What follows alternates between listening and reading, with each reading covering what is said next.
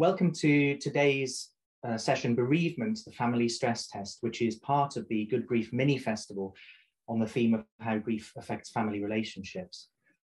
The death of a loved one often puts family relationships under enormous pressure. Not only are family members coping with a range of personal emotions, they're often physically exhausted and doing their best to honour the wishes of the person who has died. For some family members, that may be complicated feelings about the person who died or judgment about the way that they lived their lives. Family bonds may already be ruptured or dysfunctional, something which a bereavement will often highlight or amplify. So this panel today is going to examine the ways uh, in which a bereavement can put pressure on families and chosen families. We look at some of the social issues and tensions that can arise after a death, uh, the grief hierarchies that form, and the many ways in which families can fracture as well as come together in new formations during this tender time. Um, I'm Dr. Andrew Blades, and I'm really happy to be facilitating this panel today. I'm a senior lecturer in the Department of English at the University of Bristol, and my own research has been concerned with many sides of grief over the years, from the collective trauma of the AIDS epidemic to my more recent and current preoccupation with hoarding uh, we're also honoured to have two great panellists um, here today. Lottie Randomly is a funeral celebrant, educator, activist, and mentor whose work fo focuses on supporting others to navigate change, endings, and transitions, including death and grief. They've worked in the voluntary sector mental health services for 16 years, uh, managing projects and leading teams that cast a social justice centered lens on the fields of health and well-being. Lottie is an advisory board member at uh, digital wellbeing hub Voxel Hub and founded the Resilience Lab during their time at OTR Bristol. Dr. Kate Woodthorpe is a reader in sociology at the University of Bath and director at the Centre of Death and Society, the UK's only research centre devoted to the social aspects of death, dying, and bereavement. She specialises in the social aspects of death uh, dying and bereavement, and her research has delved into topics such as funeral poverty and practice, families and familial obligation, professional development for staff in the death care industry, and bereavement benefits. She's published extensively on issues related to the end of life, has advised both UK and Scottish governments, and was uh, editor of the academic journal Mortality until 2019. And last of all, we'd like to give a warm welcome to all of you joining us uh, from wherever you are attending this event today. We hope you're well and that you enjoy it. Um, we'll start by discussing some of the family issues that arise in times of bereavement as a panel, sharing some of our expertise and experience, and then um, we'll address some of the things that uh, come up from you. So um, to start with, um, I thought it would be uh, nice for us to reflect on some of our own personal experiences um, in this area. Some of the family issues and tensions that arise after a loved one's um, death. Um, from my perspective, this is really um, uh, an issue that arose in 2008 2008 after my mother died. Um, I'm an only child, and so I uh, had to support my father through his grief as well as um, manage my own. And I, in a sense, became a kind of um, ad hoc and unofficial grief counselor to my father. But I didn't really have a space in the family for me to talk about my own grief. And so that's that's kind of where my connection comes in a sense through all of those years of trying to navigate two griefs that have very different um, stages to them and had and were of a very different nature and kind, whilst also trying to to maintain compassion for my father who was going through really complex grief. And I wonder if um, our other panelists have have some experiences perhaps like that or or that connect to that that um, uh, make them think about um, this this question of family uh, tension and the ways in which relationships can be strained or changed um, when we're bereaved. Who first? So, yes, Kate, yeah, would, would you like to uh, share with us? Oh, okay, well, hello everyone, good morning. Like Andrew said, I'm Dr. Kate Woodthorpe. I'm one of the directors of the Centre for Death and Society at the University of Bath. I'm a sociologist by background and have been working in this area for almost 20 years, which I, I quite can't believe really.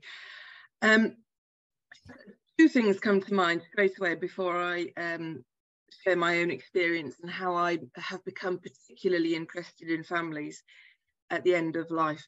But one is that uh, Penny Walter's written about this, about grief hierarchies. So I think we must come back to that later if that's um, of interest. And another one, Andrew, is just to, to, note also, I think the loved one is a really problematic term sometimes because it assumes that everyone mm. is loved and all relationships are positive. And actually, what we've found in our own research is you know, sometimes people can feel very ambivalent when someone's died, even relieved, or um, and I'd really like to return to that if that's possible later, because I think that's really important to recognise the complexity of human relationships and then how that gets reflected at the end of life when someone dies and afterwards.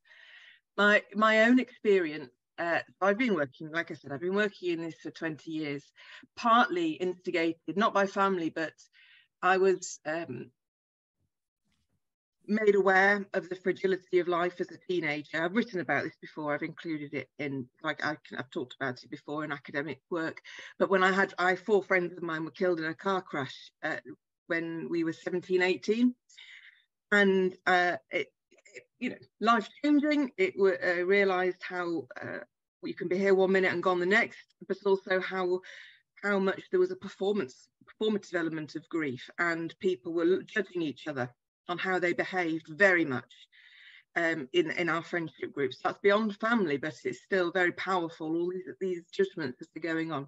But my own experience more recently was when my father-in-law died uh, unexpectedly about five years ago, and my mother-in-law had already died 20 years ago. So my husband doesn't have any parents now, uh, but his father had remarried, and we we his father was the linchpin between these between um, two families. Uh, his uh, his original family with his children. I, I married one of them, and then his second wife and her children. And we had to work out who we were in relation to each other when this central figure had died. And as an academic, I looked for literature on this. I looked in, I wanted to understand it. What's been written about this? How do we, how do we make sense of it? And there was nothing. I couldn't mm. believe it. I could not believe that there was nothing really that resonated with me about the, the relational components of death and the fact that it was a huge relational experience and it was all in relation to other people. And i think because i was a, an in-law a daughter-in-law i was on the i was one step removed so i could observe what was going on and i was part of it. But it was a very uh, you know powerful moment of realization of gosh in academia we've got to do better. To reckon i suppose as a sociologist to recognize the social side of uh, the end of life rather than just the psychology of grief. It is a profoundly social experience. So that's what I've been championing for the last, well, five, six years since that happened. So that's my own entry into this area. Thanks, Kate. Yes, because that social side continues and can continue for years and years and years. It can fundamentally alter the way that we see ourselves um, in family or chosen family networks and relationships. And we have to deal with those consequences for as long as we deal with grief and as, for as long as we're grieving and beyond. So that's a really, really profound shift, isn't it? Um, I wouldn't say we're grieving now necessarily, but we still have those relationships and they're still being maintained and we're still they're evolving now without father-in-law so you know it is beyond just the active grieving phase it is it's about the um the relationships as, as they unfold over time yeah Thanks so much, Kate. Yeah, absolutely. Lots and lots of things to think there about, about the organic evolution of those relationships and our relationships to ourselves as well, because our sense of, of who we are is relational. So it, mm. it, it changes our, can fundamentally change our sense of ourselves in those family networks or chosen family relationships. Mm. Lottie, would you like to share um, your thoughts on this on this yeah, issue about the definitely. Um, hello, and yes, just wanted to say so grateful to be here, and hello everyone. Um, I ought to just say that I'm a fairly new celebrant. I've only been doing it for about a year, and I trained a couple of years ago but um, you know, I can certainly, and I know that there'll be other celebrants with a lot more experience, but I, you know, I can speak from this year that I've had as a celebrant and also my personal experience. Um, you know with with my own family etc but um kate i also just want to really pick up on what you're saying about loved ones i'm so glad to hear you mention that because in my notes that like earlier this week that was one of the one of the things that i wanted to raise as well like i generally shy away from using the term loved one in when i'm meeting with families because i don't want to make that assumption like people often have much more complex relationships um you know so we just yeah can't make that assumption. Um but yeah so my own personal experience that i wanted to kind of talk about here is that um so about six years ago my brother al died. He killed himself and um, at that point in time he was under the care of a mental health trust.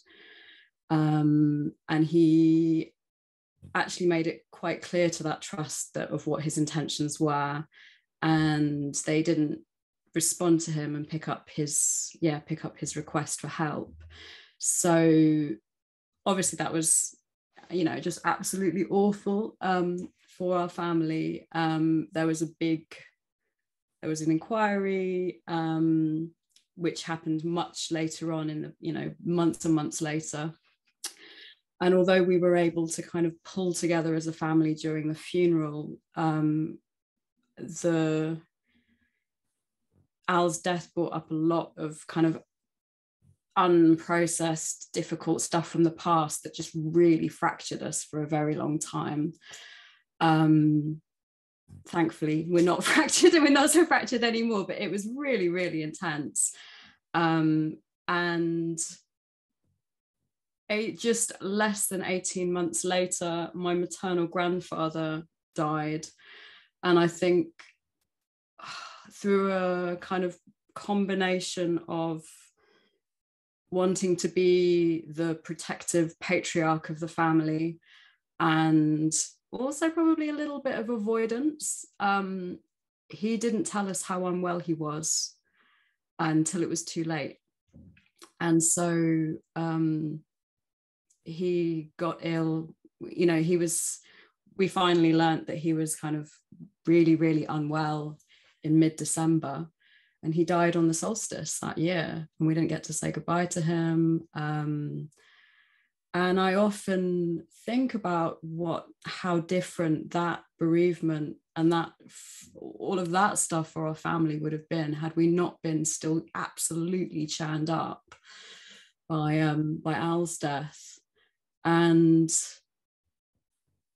yeah it makes me think a lot about it's given me lots of cause to reflect on just when people have multiple bereavements and how do you you know as a family separate those all out. And you you you, you know it's impossible. You can't um, you just get absolutely thrown into the mix and churned with it all.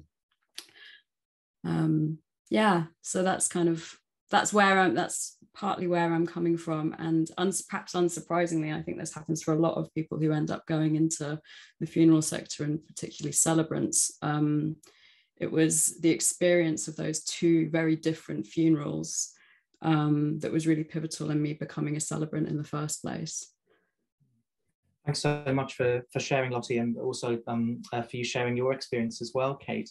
Um, I suppose that that brings us into this um, the issue of funerals really and that they become a kind of focal point for a lot of that stress and strain and there were ways of solemnizing that and and mm-hmm. doing things in to particular structures but how, how do we think that funerals can become a focal point for those emotional family tensions or maybe they um, spark economic tensions maybe grief hierarchies um, are established or or kind of um, or kind of grow um, through the, the process of organizing funerals? Um, uh, what kinds of um, issues are most are often most pressing or, or visible uh, for families in, at, at, that time?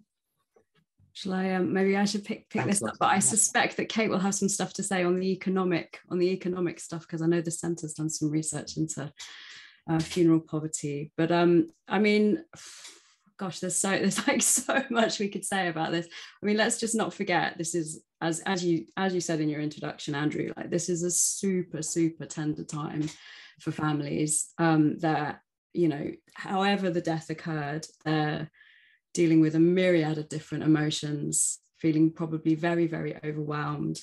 Um, they're probably absolutely exhausted.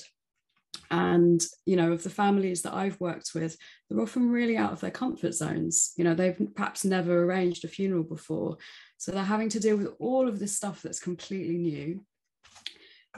They've got all of that going on. And then families are often really thrown together at this times in these times. So they might you know they might be from different parts of the country and then they've all got to come together to kind of you know meet the celebrant meet the funeral director. Um, and what i notice is that often any existing conflicts or fractures they just get foregrounded right? They just come they, they get really amplified. Um, and then so on top of that so if if the family has then um, knows what they want from the funeral and they've spoken to their person about it, then it's then it's not so difficult to kind of start crafting the funeral and co-producing it together. But if you're in a set of circumstances where the family have absolutely no idea what their person wanted, then then there's the possibility that conflicts arise because people think that that that, that person might have wanted different things. Um, and I think it's part of the job of being a celebrant is to kind of be really sensitive to that stuff and um, make space for it. Um, and I think, you know, I feel like celebrants aren't particularly good at talking about the fact that actually a big part of our role is um, is you know is com- is having to be a mediator and doing some conflict resolution and um, yeah it's not just about standing at the front and, and reading reading the ceremony you know the ceremony script. There's a there's a lot more to it. Yeah thanks lottie. Yeah that there's a kind of almost a counseling or sort of in loco counselor um role. yeah. yeah mediation um certainly my experiences with my both of my parents funerals were very positive with the celebrant who spent a lot devoted a lot of time to getting our stories so that they could then um, accurately um, reflect our um, wishes. But it, for me as an only child, in some ways that takes it, it, it's an enormous pressure, but it also take, took some pressure off because I didn't have siblings to, um, to, to, to, to, deal with, you know, conflicting emotions or conflicting priorities.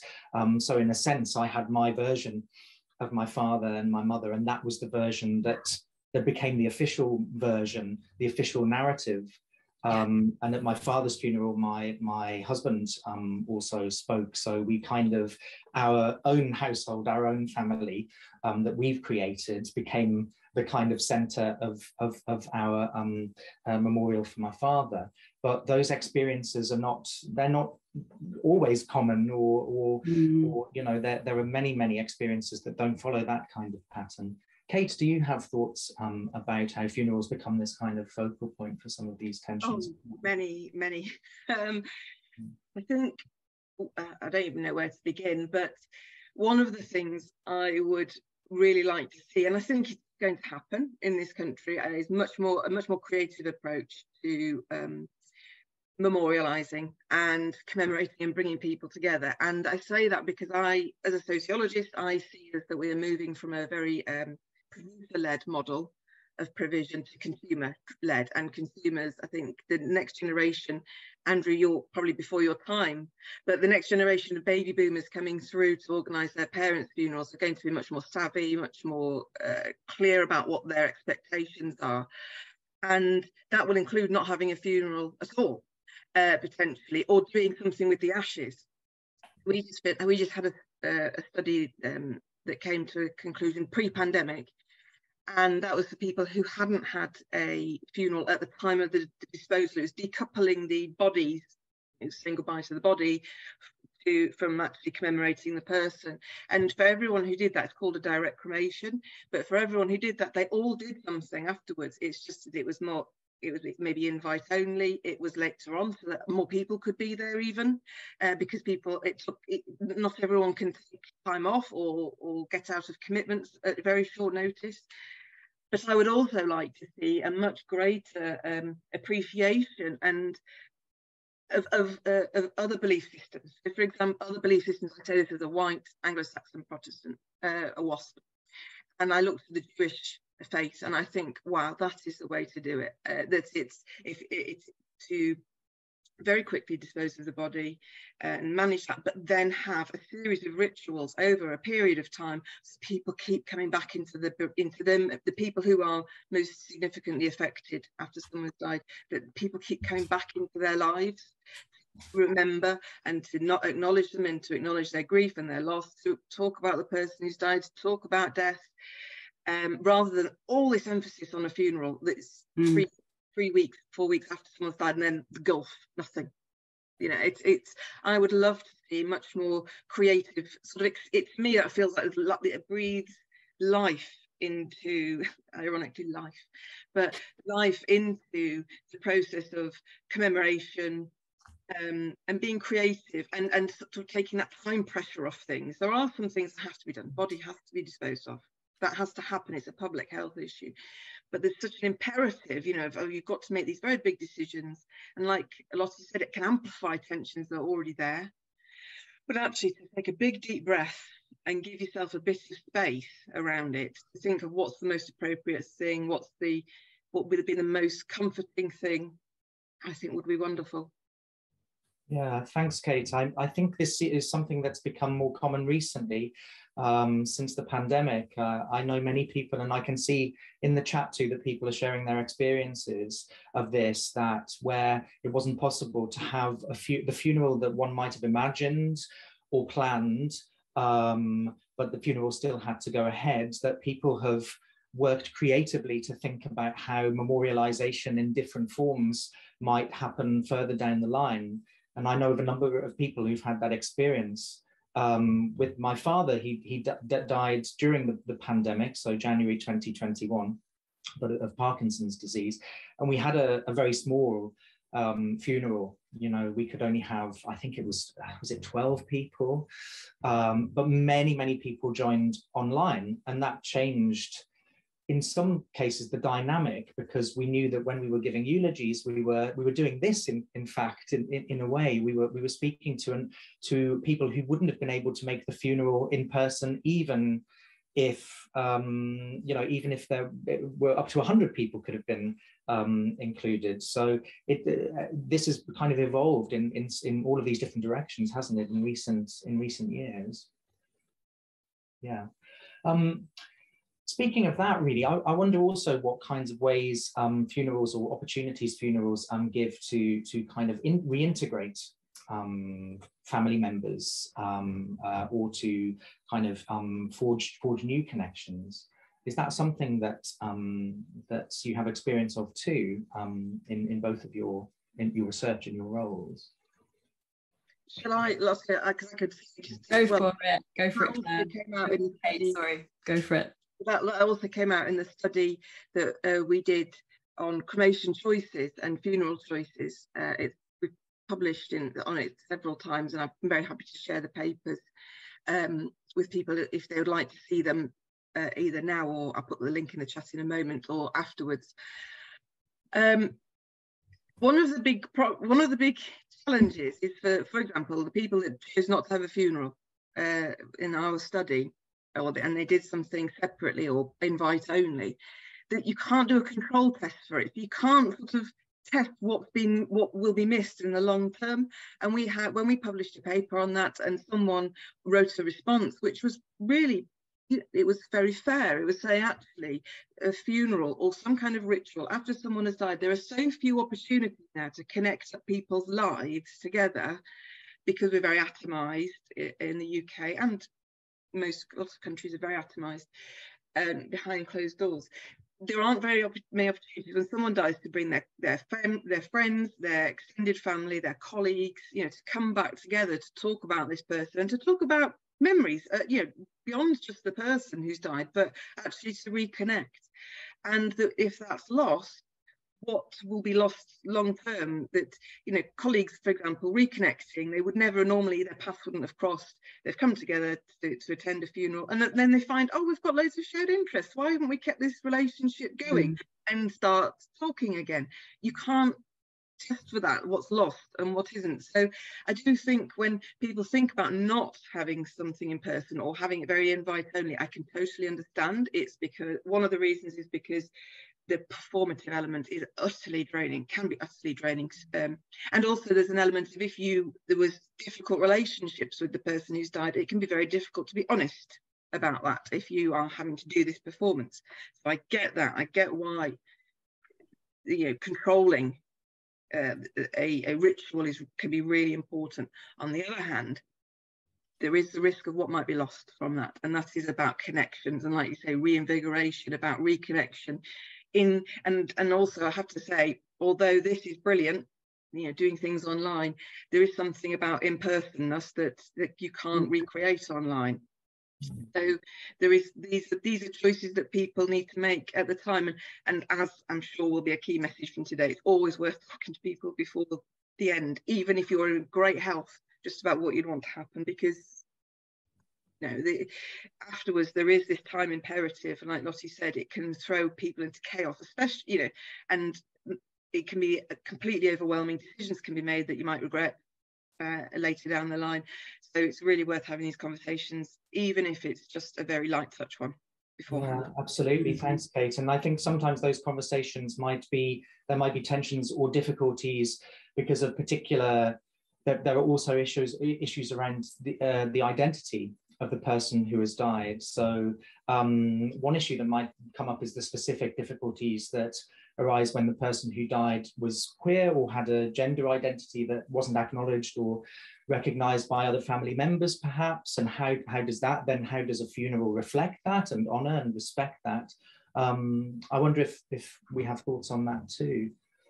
I mean um, i've certainly got some thoughts on that. I've got thoughts on all of it. Kate you've just raised so many things that I think really fascinating and just remind me that I just wish there were more models and we were, we could just start reimagining funerals and memorials more. And, you know, certainly I, you know, in all honesty, I do feel sometimes like the half an hour slot at the crem, like you can do a lot with it. And I maintain that you can, but also you are very limited to how much you can fit in and how many multiple narratives and stories you can weave into a half an hour slot. But um, yeah, thinking about um, you know something that I've been particularly interested in is thinking about the rights of queer and trans folk to get their stories heard within their you know funerals for them and um, um, you know worst case scenarios families of origin who are arranging funerals might not feel comfortable about person you know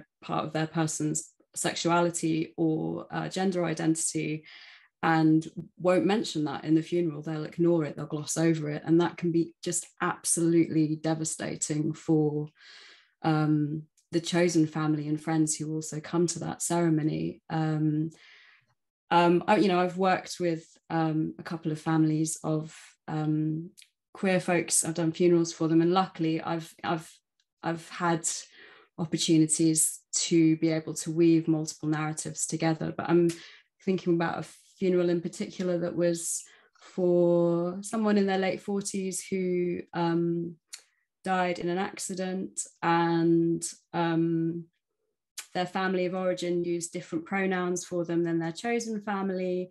And we had to have some really frank conversations. Luckily i had access to both groups but we had to have some really frank conversations about um, what pronouns we were going to use for that person and respecting their i mean they hadn't left any wishes for their funeral. So you know we had to kind of make it up as we go along. But um, you know in a lot of cases that, that doesn't that still doesn't happen. People's bits of people's identity get totally lost um, and um, i'd really like to see celebrants, undertakers, funeral directors kind of um ah oh, what's the word just like showing that they have a bit more literacy in this kind of stuff um I think I'd also just like to there's a so there's a really cool resource called Making Choices When Planning a Funeral Guide for Queer People, which is by um, a guy called Ash Hayhurst. Think we'll get we'll I'm not able to put it in chat, but I think we'll put it in the chat at the end um, yeah, really great resource for that kind of stuff. Thanks, Lottie. It's so it's so good to hear about these resources existing because I think um, so many of us, when we're bereaved, there are a whole range of documents that just immediately are on our desks from probate documents if, if you're sorting out as next of kin or you have power of attorney to um, all of the, the, the, kinds of things that we have, all of the kind of administration around the estate and closing of accounts and things. Yeah. But sometimes the funeral aspect is kind of, it's, it's the thing that that's it's most pressing because it's happening um, you know, in the in the short term. But sometimes we don't have the energy really to be able to to kind of plan effectively and take take as much time as we'd like because of all of these other responsibilities. So having these resources is really incredibly um, important. Um, I think we might move um, onto some questions now um, from the audience. We do have um, a few um, coming in. Um, and there's a question from, from Tara. Hello, Tara. welcome to our session. Um, Tara asks, do you think that um, those of us in the UK can learn from the American use of funeral homes um, with their meet and greet, coming and going ceremonies, etc., with space between each, so that mourners can attend all or some of the day, rather than that half an hour in a crematorium chapel idea that seems more more kind of prevalent in in this society. Um, do, yeah, do Kate or Lottie, do either of you have thoughts about that idea? Lottie, do you want to go first? Yeah, who, should, who, who wants to start? I mean, I'm not very familiar. I'm not hugely familiar with this model, but I mean, absolutely. Like, I can. I think having a bit more spaciousness to be able to hang out, talk to one another, meet one another, um, is you know is just so much more kind of relaxed way of way of doing things Um, because um, it can feel incredibly intense just that you know that short that short ceremony. Although you know let's not forget that people often do have events afterwards you know like a wake or some kind of family gathering afterwards. I'm not sure if that's entirely answered the question but that's my kind of i'd be interested to hear what kate thinks. Um, well years ago i edited a book that had a chapter on it from Sheila Harper, and she did a study on comparing UK and US funeral homes and practices. And she looked at also the visibility of the body uh, within mm. that and how in the because the US has has more of a culture of viewing and you know publicizing a viewing and people going into a funeral home and viewing uh, compared to the UK um, as a more collective experience. Um, I think it's different also, but it's to do with the way that the, the, the it's to do with geography and there's you know, space in terms of how many, where there's in the US you're looking at much bigger space geographically, but in the UK how it's been set up over time. So local authorities typically own the crematoria and cemeteries. There are some private ones, but it's mainly them. Um, but almost all funeral services are privately owned and commercial, you know, have commercial imperatives. They are businesses. They have to um, be sustainable. You've got a mixed economy in the UK, and that changes um, how people access the services, their expectations of them, even potentially and the relationship between them as providers. So funeral directors, Steve Walter's written about this, funeral directors are very powerful in this country. They are the gatekeepers. Mm. Uh, for the vast majority of people, they'll, be the first people that they will be called after someone has died. Mm. That's what I mean. That's what I mean about it being has been producer led, as in funeral directors. I yeah. think it's going to be much more in the next 20 years. It'll be much more consumer, and uh, and it'll be actually, you know, is this the right thing for us? Mm, not sure it mm. Um, less deferential to authority, more willing to challenge, um, and and do what feels right for the person who's died or for the family uh, uh, or the people who are left.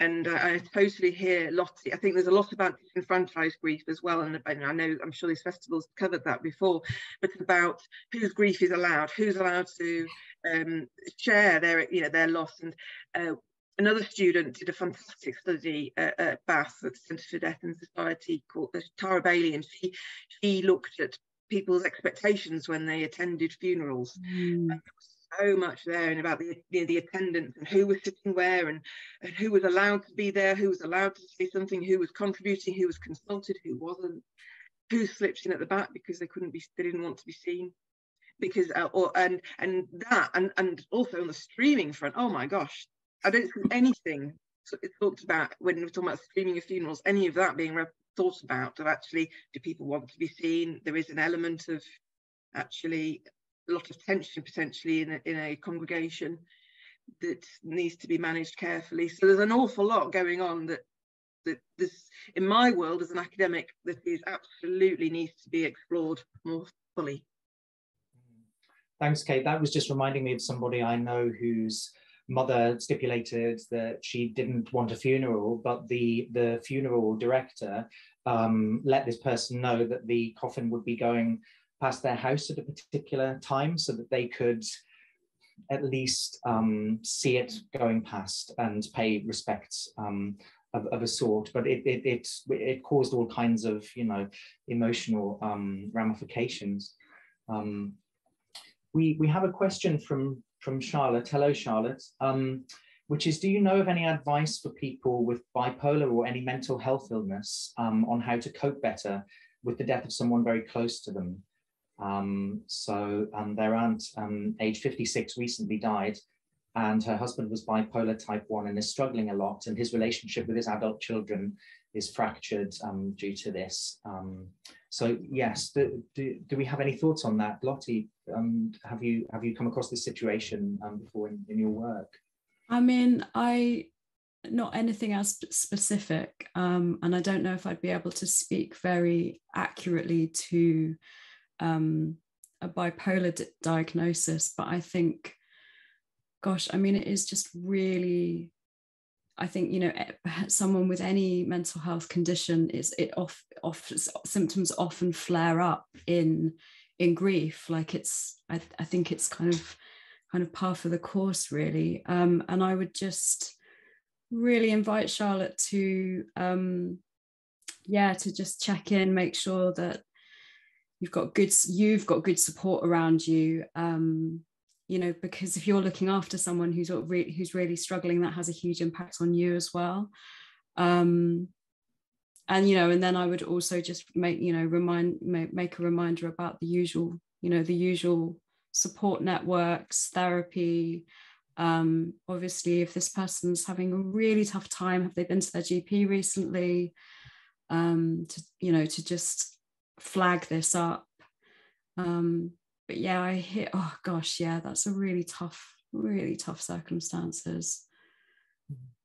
I, um, I similarly, I don't think I'm necessarily best placed to answer that, but I do wonder if it's worthwhile asking that question again at the sessions this afternoon because I think they are going to be more about psychological, mental health, about support that's available. So um, it might be worth if you're able to Charlotte to attend um, there one of those or watch them afterwards that might be a good place to start.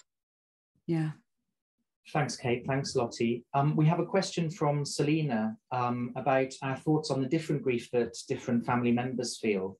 Um, so selina says uh, their son aged 30 died last spring and he has a brother. How might the brother's grief be different from ours as parents etc can I, well, can I, can I just start by saying, so in my world, in sociology, there is a, there was a brilliant sociologist called David Morgan, and he wrote about, he created theories about how family is done. And family, he argued, is a verb. It's something that's done. It's not something you mm. are, it's something that you do, you practice, you, and it's through everyday little rituals and little things that you do. And he came up with this idea that every, within a, within a family um, network, and family of choice, there are these family moralities and these are expectations and and this expectation of mutuality and how much you support one another how, and dependency um an obligation and i think that's a good way to start thinking about how grief chain is different for different people because it's not just about their identity as father or brother or, or mother, it's also about the expectations that accompany those roles. So as a parent, you have very different expect there are very different expectations about your um, obligations to your offspring, your children, because you brought them into this world. As a as a sibling, it's very different because you didn't ask to be born. You, you know, you've you, you have different obligations and expectations to the person who's died and also to the other people within that network family network and and then it's how are those enacted um that, then it sort of tells other people about what their expectations are and of each other. So I would say that's the grounding. And yes, parental grief is going to be very, very different to sibling because of those expectations. For, for parents, um, as a parent myself, I, I would expect it would also be things like you couldn't protect them, you, you it's out of time, it's out of sequence, you should have gone first, guilt. I, I, I, I can't read into your situation of what you might be feeling. But that will be very different to the sibling of, of which their the loss of their sibling is more of a peer. In, uh, in terms of age generation life experience it'll be very different.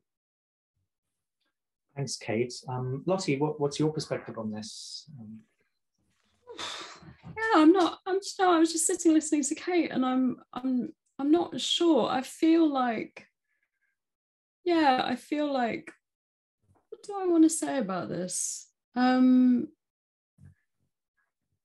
I think it's really it's really interesting to separate, you know, and to kind of think and think out like the parental grief, the sibling grief, and just really separate them out. And it, but I'm just reminded that like when you're a family and you're all kind of thrown together, you just don't think like that, do you? You just don't like so many people don't have the the literacy, the grief literacy, because we just don't talk about this stuff very, you know, very much in everyday life. Um, and yeah when i meet families they're just they're just so in the churn so in the mix of it all um it's um yeah i'm not saying anything particularly like um you know uh yeah nothing complete you know wow but just i just think it's um it's incredibly hard for families because we just don't have this literacy about these different models of grief and uh, uh, ways to talk about this stuff yet yeah, it strikes me. I'm thinking about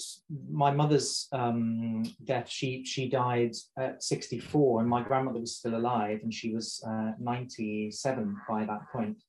And so she was at my mother's funeral, and really didn't. She couldn't speak. I mean, she was. Um, uh, still quite a, an engaged person um, at that time in her life. But it was the, again what what you were saying, Kate, about this this you expect a certain sequence perhaps, and that sequence had been disrupted in, the, in that she'd seen at 97 she'd seen her her daughter die.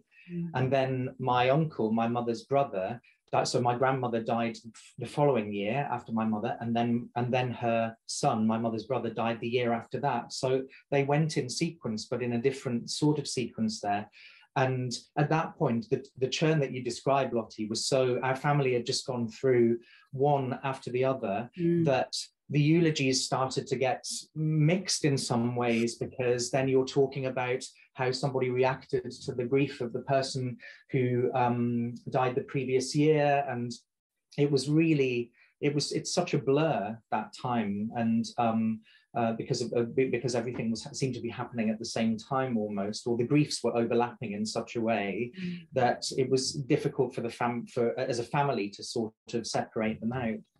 Um, we also have a question from uh, Sylvia, who's curious about the point that was made about people who are not, not grieving or don't feel the need to grieve. Um, so Sylvia is a bereavement counsellor and wonders what your thoughts are about supporting those individuals in the light of social or family expectations in various cultures here in the UK. So that's a, a, question about the expectations of grieving in a particular way or feeling a need to grieve. Um, Kate, do you do you have? Um, well, I, I think there is a very big because someone isn't doing it openly doesn't mean that they're not. I mean, that's one uh, person who's asked that question will know that more than anyone if, if you're a bereavement counsellor. That that there is some people are going to be much more open and able to articulate how they're feeling or to or visibly show it others not so much. And I can even draw on my own experience with my husband when he lost his dad. He didn't have the language, he didn't have the words to be able to do to talk about it because he'd already lost his mum 20 years earlier.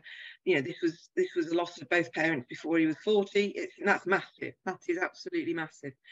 Um, he needed quiet time and he renovated our garage actually in a four week window. He needed to really focus on something you know, constructive, you know, construction almost literally building shelves and it was just very methodical he didn't need to talk but he wasn't he wasn't grieving he was deeply deeply uh, affected, but he he wasn't going to talk about it. And that's one of the things I do worry a bit about the death cafes and talk, talk, talk. Even though I've said it myself, um, you know, the importance of talking. That is a very middle class sometimes expectation, or that people can or can do that freely. For some people, it's just not a go at. It's just never going to be something that they are comfortable with, or it's even an option and I think that's really important. When I've done work on funeral poverty, and we've got just to do a quick plug for CDAS, we've got a talk on Monday as part of Grief Awareness Week on um, poverty and the end of life. But that for some people, um, particularly people who have very little money, who are living in a who, but who don't qualify for benefits, but so very hand to mouth existence. This idea of talking and talking about death and coming to terms with it and having choice about it, it's just not. It's not even and not even there. Uh, it's not even an option. And we found that when we were talking to people who in terms of funeral poverty, who the lens through which they saw the world was a very different lens. And I think in, in my world in academia, and we need to recognize that much, much more. And when we're doing research on it and talk and doing evidence building to build cases up about how people respond after a death, we've got to be much more inclusive and and uh, and diverse and reflect socioeconomic difference, ethnic difference, gender difference, uh, sexuality, age, generation, all of this mm. Is so, so, so, so diverse across the population. Thanks, Kate. Lottie, do you do you also have some? Yeah, I mean, I just I just couldn't agree couldn't agree more with what Kate was saying. And the thing that came up for me is like, do you even have the like? Some people don't even have the time to grieve. Like, you know, if you're if you've got a, a, job where you don't get particularly, you know, the compassionate leave policy is non-existent and you go straight back into work. Like I think, you know, people, you know, that sort of stuff often gets forgotten about. Um, and yeah, this idea about a right way to grieve and being vocal and talk and, you know, let's talk about it and and the middle classness of that. I think, yeah, I think it's really important to put that on the table and not make assumptions about the best way um, yeah the best way to best way to do do grief. It also remind also reminds me that when um when my brother died um my my partner um I, I got I got very frustrated with him at points because I felt like he wasn't grieving in the way that I expected and I wanted him to. Um and one of I think something that you said, Kate, reminded me that um, my partner built a bed for my daughter, and that was like his kind of grief project. It was just a very different way of of of of doing, you know, going through that process and doing that stuff together. And I think it's just an example that we just can't we just can't make assumptions about how people are going to process this stuff. I think I think that that, that point um, it, that's also where tensions come from, isn't it? I think exactly. Yeah. Why aren't, they, why aren't they more upset, or why are they crying so much? It was my bad. Yeah, there's all these kind of the, the, the relational side, and when people are watching each other and going, "Hang on a minute, that's they're behaving at they're behaving in a way that I didn't expect, or I think it's inappropriate, or I think is this or that, or this or that." It's almost it's also recognizing where your own assumptions come from. And i guess that's that when you're when you're when you are also bereaved you're not going to be able to do that no. and then again that's where tensions amplify because people are going to be very quick to ignite and very quick to make you know, assumptions because they haven't got the bandwidth to be really thinking hang on a minute that that's not that's out of that's out of character. Yeah to someone, give them the benefit of the doubt, it's going to be much more they're doing something wrong, you know, and and then and maybe not even having the capacity, time, space to even address that, but then to talk to someone else about it, and oh, this. And so that's what, and I think that's where you get a lot of tension when people die. Some people, great if you don't. I think lucky, harmonious families, but for a lot of people, there's a lot of relational things that, and that's what we don't know we don't have the language to talk about that and, and how to acknowledge that and support one another or even just let it happen and go okay you know families are complicated. We can't get around this. You can't you can't suddenly wave a magic wand and it's going all going to be rosy. Yeah. I think I just I just realizing that something I know we're really short on time, but Kate, when you were saying about harmonious families, I think we also just need to kind of float out there that actually, you know, you know, there are some families that that, that, that do navigate this stuff in kind of a fairly easy way, and and also, you know, in terms of funerals and their tensions, actually a funeral can be quite restorative. You know a funeral can can create some cohesion in the family. And i've certainly worked with folks where co-producing the, the funeral together has given them something to focus on and has actually enabled them to get on better in a way.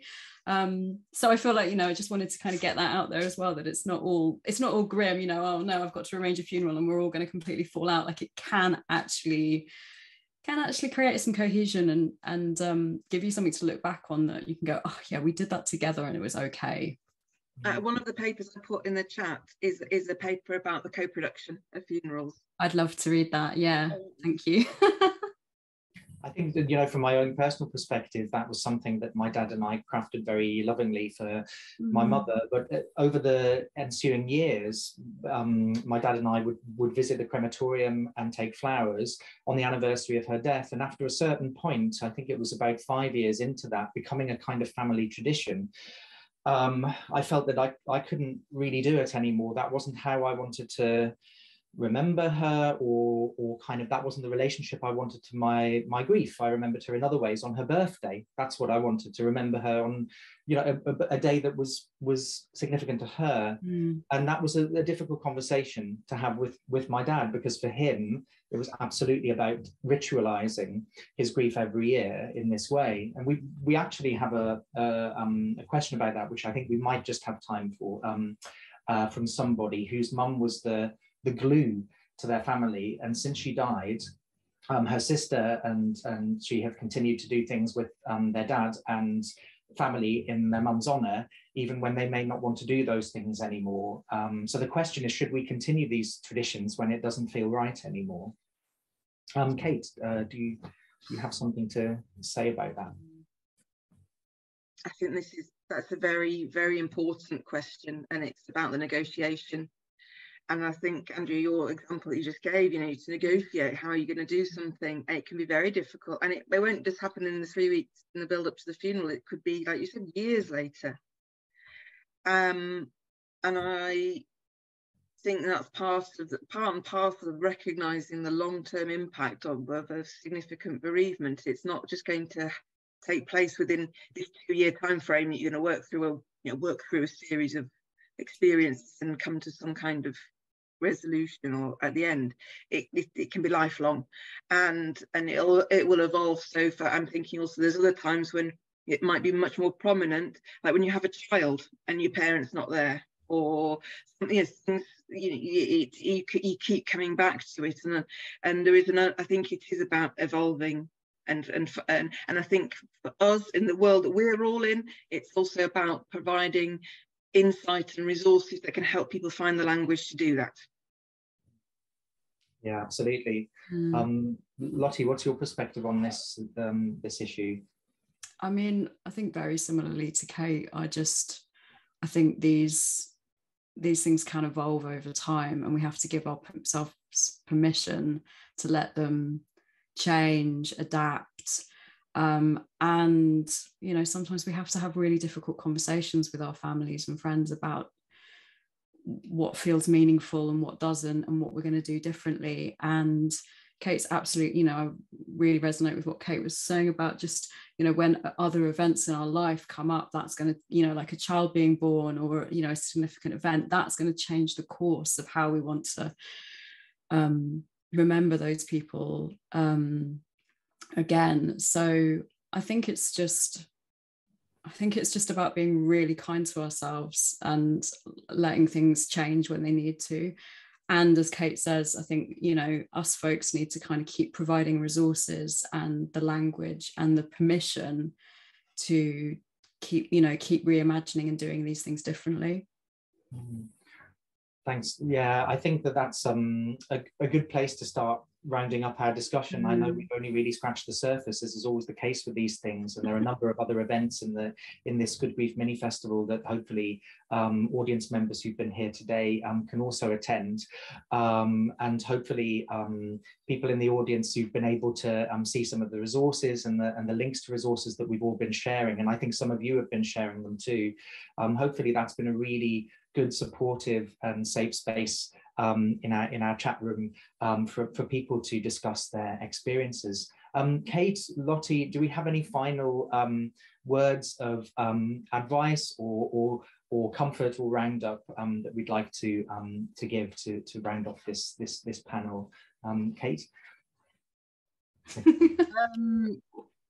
thank you very much for this opportunity. I've I've admired the Good Grief uh, Fest from afar, so I'm very honoured to who have taken part in today. Thank you to everyone for their questions and be kind to yourselves and be kind to one another. I think eh, eh, it, it, talk about relationships, you know, we we need to look after each other.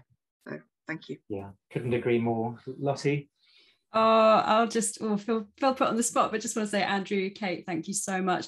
And I just, you know, just thank you to everybody who's here and in the chat. I've just seen some really interesting comments and dialogue that I know we haven't been able to comment on all of it. And um just really valuable discussion. So thank you all so much. And like Kate said be gentle with each other be kind and remember that um you know if you do find yourself crafting a funeral it, you can do it in your way. You don't have to just be led by what the funeral director tells you. No no you know no bad on funeral directors but you can have a ceremony that um, suits you and your family Thanks so much, Lottie. Thanks so much, Kate. And thank you to everybody um, who's participated um, today. Um, uh, hopefully this you've really enjoyed this panel and um, that we'll see you again really soon. So take care or look after yourselves and, and thanks once more. Bye-bye. Bye, everyone.